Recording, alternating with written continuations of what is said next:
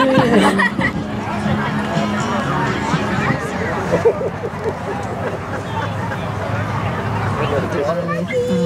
you doing, Mikey? What you doing? Oh no, you can't eat that.